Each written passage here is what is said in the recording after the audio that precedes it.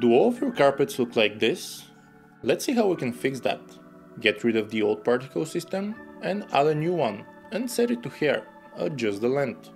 The number depends on the size of the rug, but try to keep it low. Switch from object mode to particle edit and with the comb brush adjust the hair.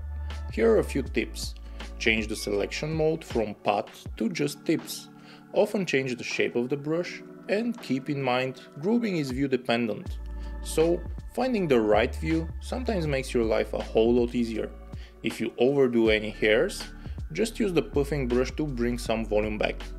To preview your final hairs, go to Children, enable Interpolated and crank up the display and render amounts. To bring some structure to the hair, play with the clump and to add a bit of variation, we can play with the roughness. Depending on the fur you're creating, curl can be very helpful too. I can't really give you a set of settings because they will depend on the model you're making. Time for the material. Replace the standard Cycles material with a principled hair BSDF and make sure to set it to direct coloring. We can use a texture for the color, but for this I'll stick with a simple RGB value. Here is a little trick. Add a curves info node and plug the intercept into a gradient ramp. This will give us a gradient starting from the root of each hair that we can control with the ramp. If we multiply that on top of the hair color, we can get the tips of the hair to be much brighter than the roots.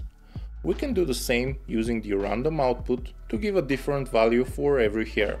To finish, let's set the correct roughness. Lower values will make the hair shiny, while higher will make them more diffused. Around 0.4 looks good for this. If you like this model, you can find it in Blender Kit. It's linked in the video description. Subscribe for more tutorials, and once again, thank you for watching.